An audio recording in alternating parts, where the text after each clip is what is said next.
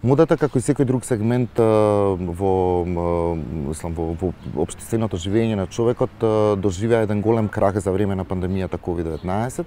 Најновата информација пред неколку дена беше дека Викторија Секрет веќе има поднесено барање за нели за подпишување на банкрот, најавата дека Hermes, Rolex и Chanel ќе го престанат своето производство. Тоа веднаш покажува дека а, овие 6 месеци всушност што ги поминавме, наеднаш уништија една индустрија и уништуваат една индустрија а, која што се гради со години и со децени, ако не и со векови. Мојата предпоставка е дека сето ова ќе се сведе на една голема поделба во модниот систем.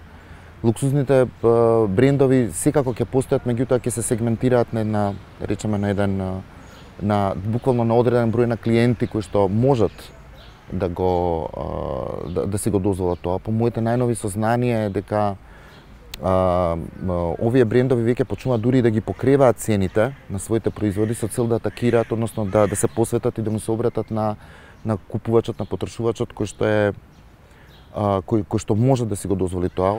А големите мас продукции, односно high street брендови како што се Zara, Mango и така натака, нели и Pull and Bear и да не ги набројувам, Massimo Dutti и така натака, тие функционираат, меѓутоа ќе начинот на кој што ќе функционираат најверојатно ќе биде онлайн продажбата.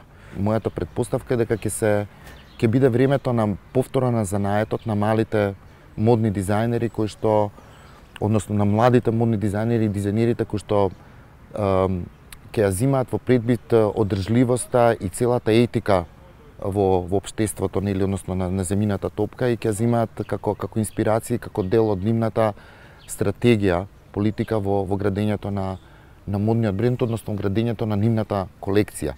Не знам дали ќе има и каква ќе има модна индустрија. Сметам дека сето тоа ќе се минимизира и ќе се вратиме на savoir faire што го викаат или know-how што го викаат англичаните и французите, нели она што е артизанското, она што е за нечисткото. Ќе се вратиме кон изработувањето на моделите, буквално како во Втората светска војна, да не кажам, бидејќи ова е навистина еден вид на војна што ја водиме, не физички, меѓутоа секако од друг аспект, ќе се сведеме на она да им да им се посветуваме на луѓето, на нивните потреби. Се парите тука нема да имаат голема улога, колку што ќе има подпомагањето на луѓето на еден на друг. Мислам дека модната индустрија во големи масовни производства тоа ќе исчезне. И да се подпреме на она што се нарекува домашно наше, македонско. Не само македонско, меѓутоа во секоја земја ќе го има она што е нивното домашното. Тоа се случува во театарот, тоа се случува во во, во она што јас го работам, ги ги, ги гледам ги а, нели ги а, ги веќе ги наблюдувам промените што се што се случуваат.